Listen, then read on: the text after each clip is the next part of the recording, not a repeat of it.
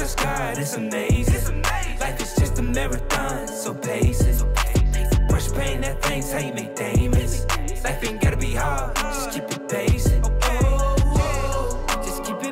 Welcome back to Fort Meade Declassified. I'm Monique McFadden from the Fort Meade Public Affairs Office, and today we have with us Meade High School Homeland Security Signature Program Representative Melissa Bagdad, Homeland Security Signature Lead Teacher, and current students Erica Perez, a junior, and Carl Capelli, a senior, and Fort Meade School Liaison Officer Meredith McCandless. Welcome. Thank you for having us. Well, I know, Melissa, the last time we were here when we did the first segment of our series on the Homeland Security Signature Program at Meade High School, you had already mentioned about why why Homeland Security, the Department of Homeland Security exists, all of those things. Just just kind of remind our audience where why Homeland Security uh, Department of Homeland Security was created, and then also this program and how it fits into. Absolutely, really quickly. Um, obviously, the Department of Homeland Security was created after 9 11. And one of the things that we teach in, in our classes is it's kind of where we start with all of our curriculums because we know it is the, the basis for what we do. Um, whether it's our explorations classes one and two, or CNI class, or our GIS, we always focus on that uh, kind of kickstart of the department, those 22 agencies coming under one umbrella um, in the Bush administration. So it's really important being located on post on Fort Meade, right down the street from NSA, that our students, who, by the way, were not even alive on 9 11, No, right? they were not. Um, I think we talked a little bit about that last time, um, that they have that foundational uh, point where we can then just bounce off of. Yes, yeah. Now, let me, I know that you just gave a few abbreviations. I just want to know what they are Mm-hmm. Sure. so that everyone will know what you're talking about. Um, so uh, NSA, obviously National Security Agency, HLS, you'll hear us say Homeland Security. Um, our other agencies, CNI is our Counterterrorism and Intelligence class, Yes. which is our proficiency class with the community college, and then GIS is Geographic Information Systems, which is a two-year program that offers a certificate at the end, in addition to a uh, drone certification through That's the community awesome. college. That is so awesome. Yep. You, I, so now I'm going to talk to my students Uh-huh. here. I'm so excited that you guys have come out and want to share your experience about, because I know that you're focused, you're, the two of you are focused in two different areas of Homeland Security. So, Erica, what's your focus again? I focus more on community outreach and public speaking. Love it. Yep. Uh, I'm a student in GIS.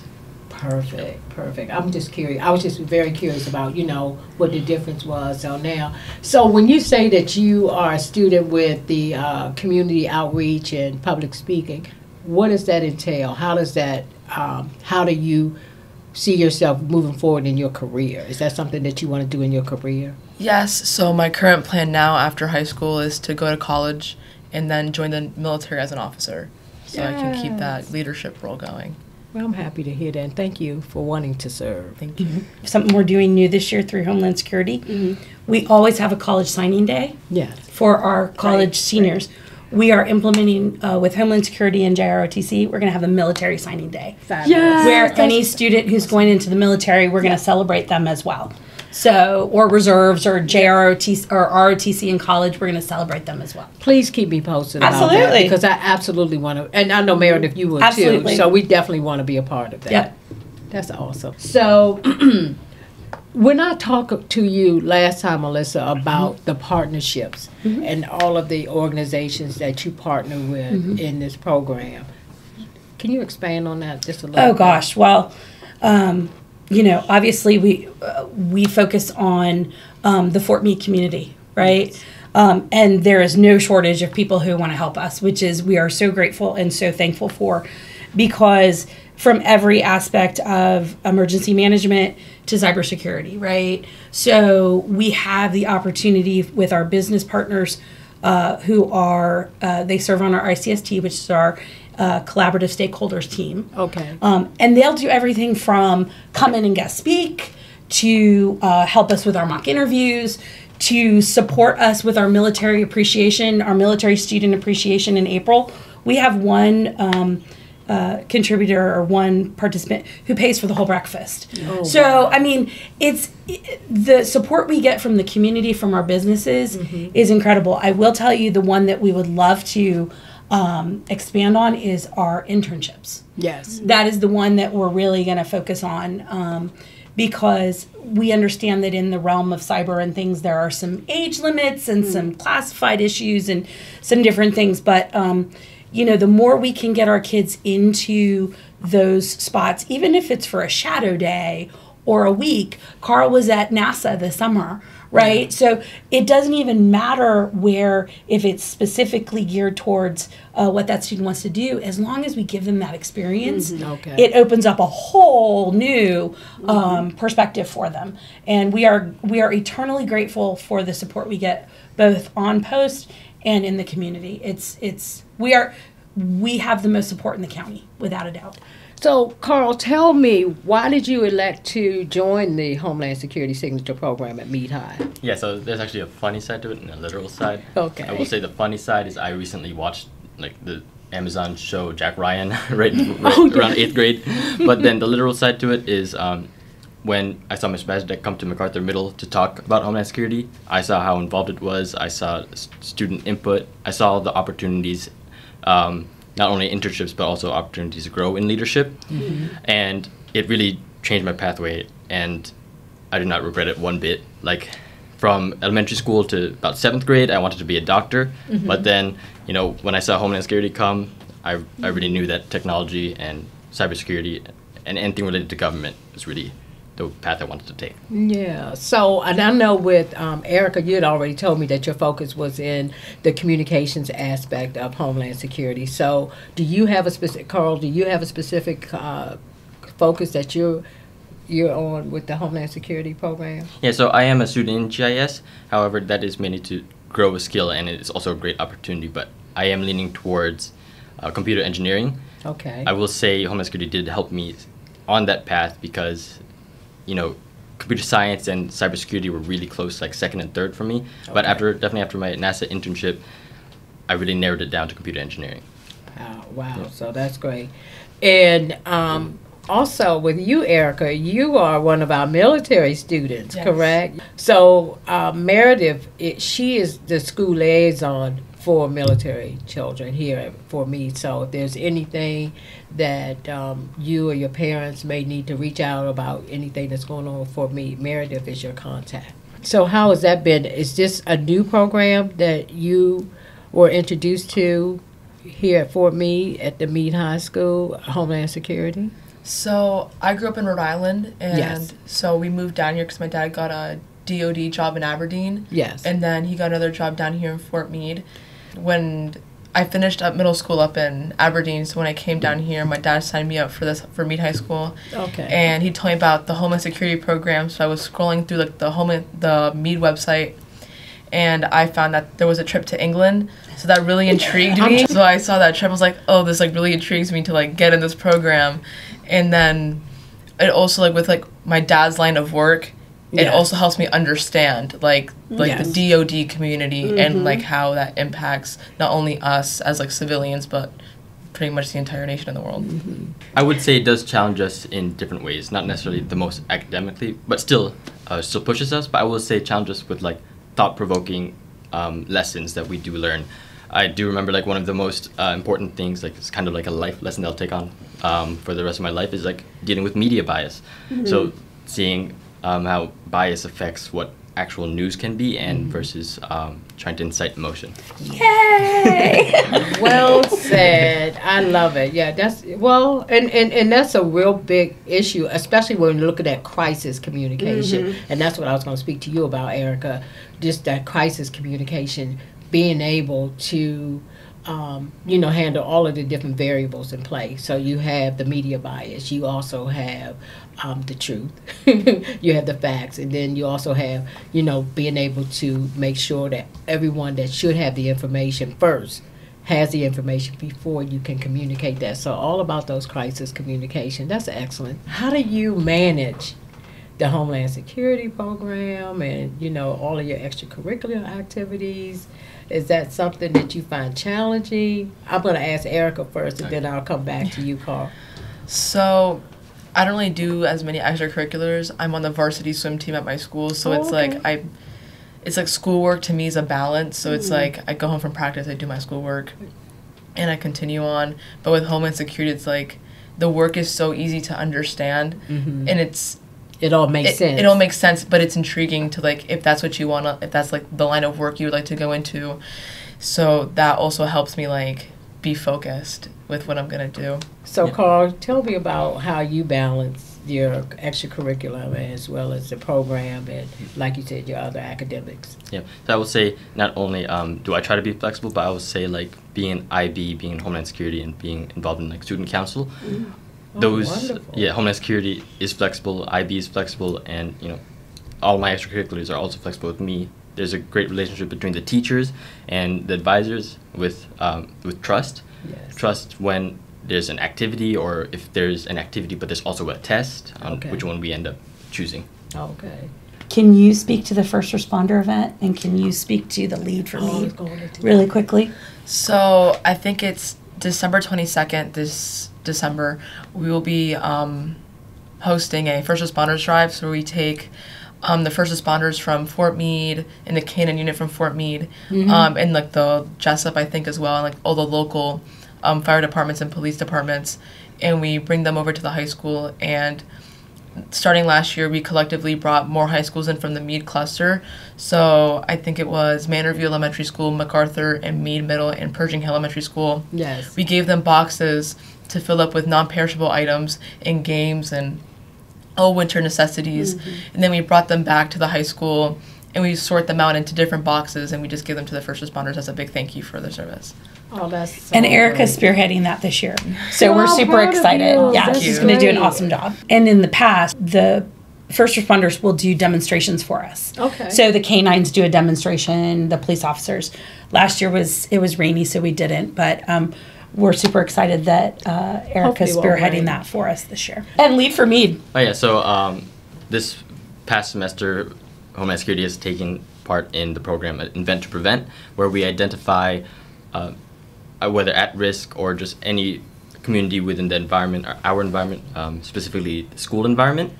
So we en- we decided to choose military students, English language learners, and incomers. So we named it Lead for Meade, where LEAD stands for Learn, Engage, and Drive Equity for Meade. I love it. Yeah, so it's spelled with an E at the end. Okay. of Meade. yeah. So uh, we have a group of ambassadors, a group of student ambassadors, about 25. Yep. Um, so whenever a new student comes to school, whether it's purely a new student or a military student, they'll Mm-hmm. be able to shadow them, uh, be with them throughout the throughout their day, to see, uh, or to just have like a friend as well. Yeah. That's so awesome. I love that because Yeah. that encompasses the Army's youth sponsorship program. Right. So that's amazing. Yeah, and also part of it um, with the English language learners, um, we've started to translate. So everything we put out, I said whether it's social media posts um, or posters that we put up, we provide Spanish translations. So, what has kept you in the program for the four years that you've been in high school, Carl? Oh man, yeah, I love this one. yeah, so I don't know, just from the start, it's been great. Um, Homeland Security one definitely was uh, w- was virtual for me, but then Homeland Security two was much more engaging because it was in person. And you know, I've had Miss Bajadek all four years of high school. And Good or bad? She's the queen. She's the queen teacher. Always stayed. Exactly. Yes. That's true. Yeah, and there's a lot of trust and um, expe- expectations put into us. There's just so many opportunities, such as you know being a GIS student. Uh, this opportunity itself was already great, being able to uh, hopefully take an exam to get the certificate at the end. Yes. Because yeah, that is just a great opportunity to have. And your drone license, Oh yeah, drone license. Yeah. Yes. which helps too, which is great. You say expectations, and you felt, you know, that they were communicated well. So you feel like your your the teachers and all of those persons involved in the Homeland Security program have communicated their expectations. How about you, Erica? So for the first, I only did Homeland 1 and Homeland 2. I'm currently in Homeland 2 right now. So mm-hmm. my freshman year, our teacher unfortunately moved So there was a nice, there was a period where I didn't really have a teacher. Ms. Bajadek was our teacher. Okay. So I got to learn from Ms. Bajadek, and it was a very great experience. So, and then we got a teacher, so I finished up Homeland 1. Last year, I couldn't unfortunately take Homeland Security because I had to finish required courses for the county. Yes. So the expectation, I walked up to Mr. Hopper, and I was like, "What can I do to like help support this program? Since I can't be in it this year, what mm-hmm. can I do?" So he gave me a list of events, the Meade Cluster events, the expos, the First Responders Drive. So The garden. the garden, the honor garden. Or honor garden. Okay. So okay. through that, my expectation has been dramatically increased because if if either Miss Bajadek or Mr. Hopper needs me, I'm just like one email away, and I come and I help. So that's But now she's back in her program. Okay. So she's back I'm in back. the family. Okay, Now that she was ever out of the family, but now she's officially back in the family. officially. Oh, okay. So that makes sense. And for you, Carl, when you, because you were mentioning that you did a internship Yep. at NASA, are there any full time opportunities after those intern those type of internships? Do you know? Yeah, so I can yeah I can definitely speak of NASA. So the one that I took part in was mainly strictly um, summer 2023. Yes. Uh, but I was given the opportunity to network with other mentors that do provide full time opportunities after college. So basically, they would fund for your college, and they would also um, uh, like you would work for them in the summer, and then once you're done, you would end up being a full time NASA employee. Oh, wow. That's great. That's a great opportunity. Yeah. Yeah. Yeah, my internship it wasn't really along, aligned with my interests. It was um, it was business. It was Excel, working with Excel and financial reports. But mm. like I learned so much. It was an eye opener. I was able to grow not only like hard skills with Excel, but also soft skills with speaking to other Okay. people. Mm-hmm. Okay. Yep. Wow. Well, and I think that's what people need to understand. Mm-hmm. And part of making internships part of the curriculum is just what Carl said. Yes. Because we try and tell our students, you know, use high school as an opportunity. And that's why we, I won't say beg for internships, but like Carl said, it wasn't in necessarily his pathway, mm-hmm. but he gained some hard skills, he gained some soft skills. And and even that for Erica, Erica working on our first responder events and things, those were soft skills and hard skills that go along I was along going to with say, it. yes, that You know what I'm saying? both. So, so that is uh, Carl mentioned at the beginning in terms of academic expectation. One of the things that's great about Homeland Security is we aren't a core class, right? Okay. We are not a math, science, English, social studies, right? Yes. We're the class that I want to challenge you to think. Yes. I want to challenge you to get outside your box. I want to challenge you to learn those soft skills because I think I mentioned it in our last talk. Um, these two students who are sitting here in 15 years might be doing a job that currently doesn't exist Right. That's true. right Yes. the way the way the world is going and so our job in homeland security is to prepare them for that Yep. Yes. We want them to have the content knowledge. We want them to have the current event knowledge. We want them to have those things that are relevant to today. But when they walk out of my classroom my most important task is to make sure that they're prepared for 10 years 15 years down the road. Mm-hmm. And so if we can build that toolbox with them that's what the goal and objective is. So no experience is wasted. Yes. day, week, mm-hmm. summer, semester, everything. We have the best kids in the world. We have I- the best I kids agree. in Anne Arundel County. we do, and I will I will go to the mat on that. And they're different. They're diverse, which is what I love. Um, and they need different things, and they want different things, and that's what we try and provide for them in Homeland Security. And so will they come out with knowing every department you know in in dhs they mm-hmm. might because mm-hmm. that's part of homeland one. But can carl now look at all the media that's bombarding him mm-hmm. and make some cool judgments. Can erica take an activity that she's going to have to do in college and Yeah. right off the bat? Yeah. then we have we have met our goal. Yeah. and that's what is important to us And Melissa, you went through this last time, uh, but I just want to get it from the perspective Yeah. of the students here um, in terms of the curriculum. So, so yeah, I can speak on um, when I did take uh, Homeland Security Explorations. Yeah. Now I am a GIS, but I remember Explorations too. everything we learn can be applied in real life. So math, yeah, math is my favorite subject. I will say. Okay. Um, Academic subject, but like, it may not always be used in real life. I know Homeland Security. When you know, whenever we learn about emergency preparedness or like potential threats, that can be used in real life. Yes. And I would say that. Um, uh, we did have homework that we did take home uh, on occasion, and it was very helpful. Like none of it felt like busy work. It felt like everything was involved. Everything would be useful. And in terms of GIS, um, that curriculum has also been great. We've been following, uh, you know, self-guided courses, but also advice from Ms. Bajadek, and I, I feel like I'm on track. And if I could take all of these courses again, I would. How about you, Erica? So I'm still in the exploration courses, but what I've come to learn is that it, there's a lot of critical thinking skills that take place when you take Homeland Security classes. And like Carl said, like emergency management is a big deal. So it helps us to stay prepared. We learn about FEMA and Yes. NEMA. And then we have Department of Emergency, what was it? Office of Emergency Office of, Management. Emergen- uh, Office Yeah. of Emergency Management come in Mm-hmm. and they teach us things almost whenever they come in to like communicate with us and like tell us about their experiences. So it really helps us like the long haul from like when when you start learning it to like whenever like I wish I had this opportunity. It would have been really nice. How about you, Meredith? Well, that's what I was thinking, how innovative this program is and Yes. how, and I probably said this at the last, last podcast, that I wish it was in every school in the county and the state because we're at a very fine line now with the life we live today on these being life skills, Mm-hmm. actually, you know, and not just curriculum, but life skills. And then the critical thinking aspect is essential. So I, it's, It really is. I just hope that we expand as a society on this program and it grows into more schools. Let me ask you both, and I'll ask you first, Carl. How do you see the Homeland Security Program helping you in your career goals?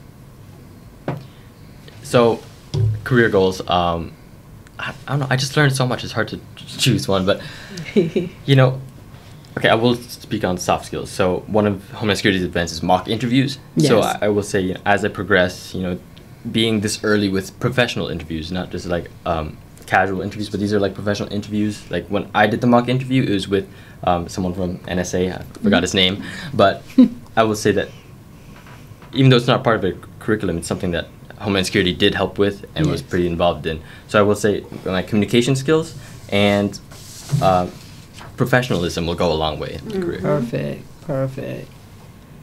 And you, Erica? so like I said, critical thinking skills go a long way. Yes. So once I started learning about like current events and like how to like look at um at a media platform and decide if it's biased towards one wing or the other, Mm-hmm. really helps me define what I'm looking at. Not ev- not only like for news, but like on social media as well. Mm-hmm. And when people tell me things like now with like critical thinking skills that I have developed, it helps me like pick apart what they're saying and think Yes. about it more and be like, is this what you're trying to say? Like, so I can get like a deeper meaning of what's going on in the world. Perfect. I And a like more accurate meaning. Yes.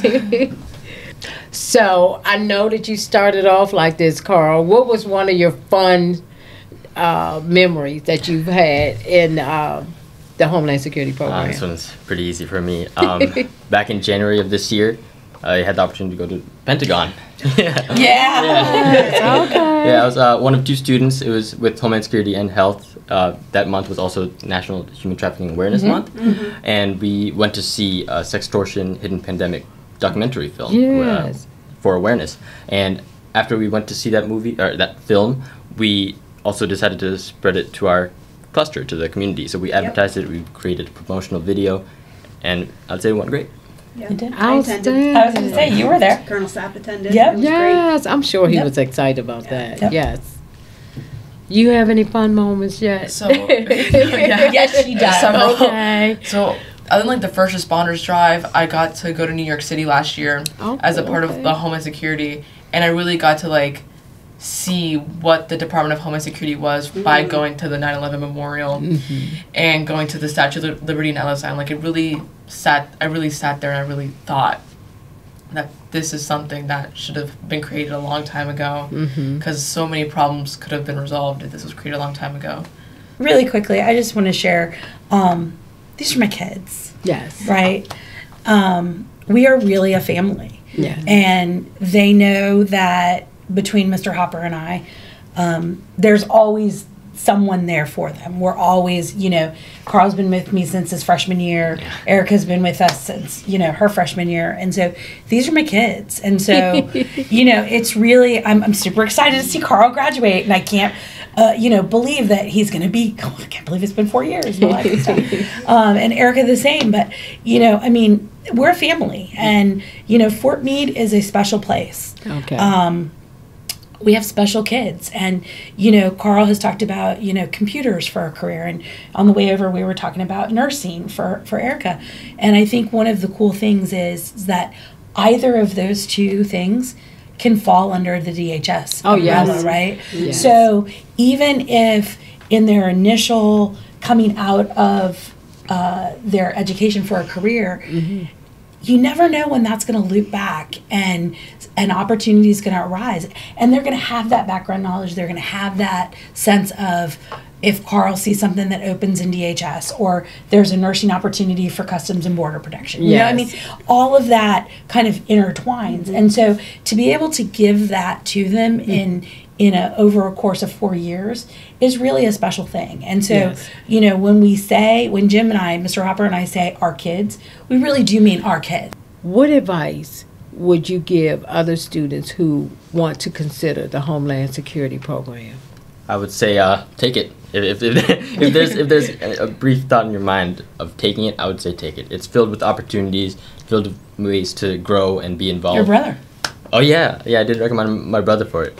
So he's an eighth grader at macarthur so there you go Okay, perfect. How about Just you? like Carl said, just take it. Like you don't know where this program will take you.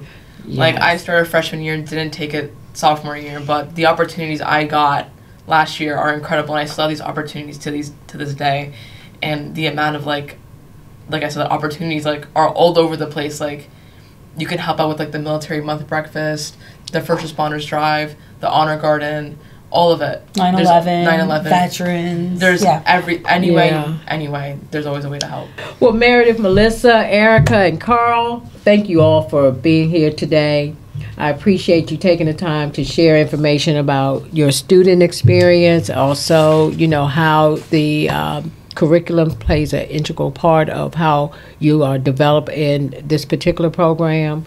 thank you Thank very you. much for having us we appreciate it Thank you to everyone who listened in today, and we'll see you next time on the next episode of Fort Meade Declassified.